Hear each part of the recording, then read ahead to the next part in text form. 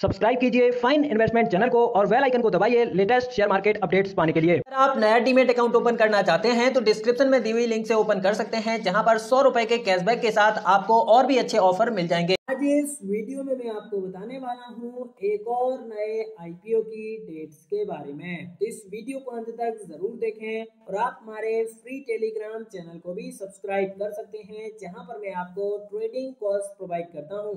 आप हमें ट्विटर पर भी फॉलो ज़रूर करें, जहाँ पर न्यूज़ अपडेट आपको सबसे पहले मिल जाती है।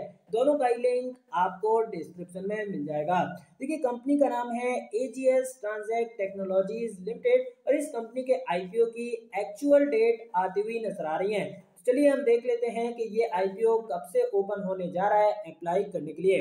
देखिए, जो आईपीओ है 19 जनवरी 2022 से ओपन हो जाएगा अप्लाई करने के लिए और 21 जनवरी 2022 तक इसकी लास्ट डेट होने वाली है।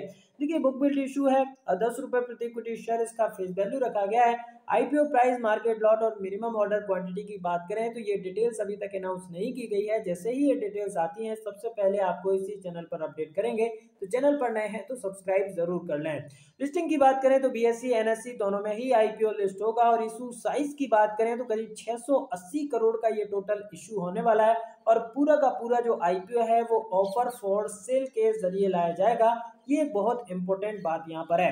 अब देखिए यहाँ पर रिटेल कैटेगरी के रिजर्वेशन की बात करें तो करीब 35 परसेंट का रिजर्वेशन यहाँ पर रखा गया है, यानी कि आपको, आपके लिए जो टोटल शेयर है उसके 35 परसेंट शेयर यहाँ पर रिज़र्व रहेंगे रिटेल कैटेगरी के लिए। अब देखिए टाइम टेबल की बात करें तो टाइम टेबल जैसे कि मैंने आपको बताया 19 जनवरी से आईपीओ ओपन हो जाएगा 21 इसकी लास्ट डेट होने वाली है। अलॉटमेंट की बात करें तो 27 तारीख को इसका अलॉटमेंट आ जाएगा।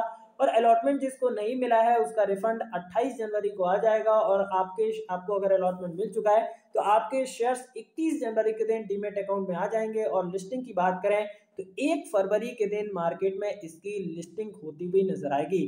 तो देखिए, ये इस साल का पहला मुझे लगता है कि आईपीओ आता हुआ नज़र आ रहा है। जो देखते हैं कि किस तरीके से रहता है, हम उसकी पूरी एनालिसिस करेंगे। एक बार इसकी डिटेल्स आ जाए प्राइस बैंड आ जाए, उसके बाद हम आप पूरा एनालिसिस करेंगे कि भाई कि आईपीओ किस तरीके से हो सकता है, क्या प्रीमियम यहाँ पर मिल सकता है, उस सब के बारे में आपको बताएँगे। तो चैनल पर नए हैं तो सब्सक्राइब ज़रूर कर लें। धन्यवाद।